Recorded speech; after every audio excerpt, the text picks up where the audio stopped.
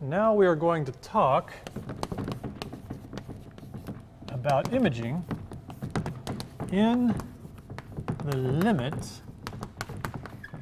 of geometrical optics.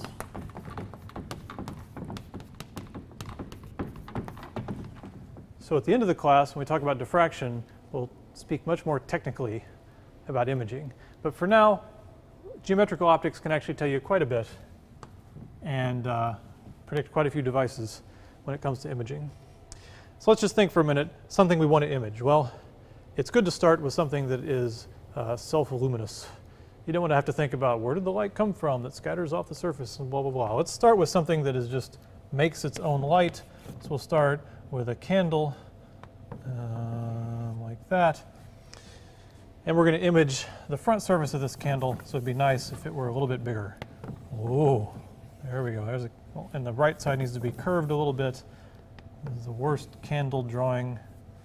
There's a wick there. Okay, it's a candle, all right? And this thing is giving off light, right?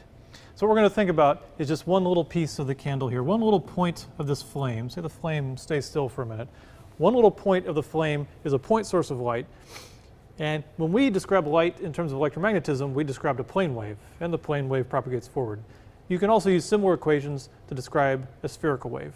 You can have a point source of light, you can solve the wave equation in spherical coordinates, and the light basically goes out as a spherical wave. And when you get really far away, it kind of looks like a plane wave because its curvature goes way down. So that's kind of what we're thinking about here. In geometrical optics, we would say the light rays come out like this in all these different directions. In all directions. And then, remember in uh, electromagnetism, we described a plane wave. It was a plane wave because it had a wavefront that was a plane. Well, here we have a similar idea. We can describe this as having a spherical wavefront. So if we were to ask ourselves, where is it in phase, we would say on a sphere. So in geometrical optics, we really think of the light just as a line, but the way it comes out of a point, you can think a little bit more like physical optics and think about the wavefront. But really it just means the light comes out in all directions, okay? So now, this little point um, on the flame is letting out its own spherical wavefront, and actually every point on the flame is sending out a spherical wavefront. So this is the object space. This is what is really happening. And in the object space, light is just going out. What we want to do, what you're trying to do when you're imaging, is to capture some of that light that's going out into the universe and bring it back together in a way that it becomes organized again, that it is in a similar pattern that it was when it came off the object. That's kind of what you're doing.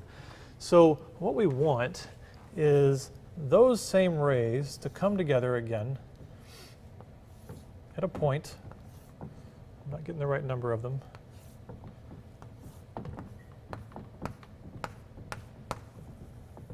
Those exact same rays come together and make that point. and then if you make another point, another point, another point, you get an image of the candle. And maybe you can see a little bit of the wax part. And the key is um, that the rays come together, and in geometrical optics, they have to be isochronous. Basically, they obey Fermat. I almost said Fermat. They obey Fermat. Okay? What it means is all the rays that come off this point that want to come together and make an image at this point, they have to take the same amount of time. Okay? They'd say, why would they do that? They aren't going to do that. This is object space why would they come together in image space and do that? And the answer is because you put an imaging system between them. Right? You put a bunch of stuff in here. Right? Maybe you put a lens like that. Maybe there's an inverse lens over here. Maybe there's a curved mirror over there and a flat mirror here. Whatever it is, you have an optical system that manipulates all these rays and it has to do two things. It has to make them come together to a point, and they have to do it isochronous for everything to work out. So in geometrical optics, if you design this thing, you will get an image. An image meaning a pattern of light similar to what came off the object, and if you put a screen here, that pattern of light will scatter off of a screen and you'll see an image. If it's a real image, there's also another kind. Okay? So that's what we're going to think about is what kind of optics does it take? What shape does it take to create an image?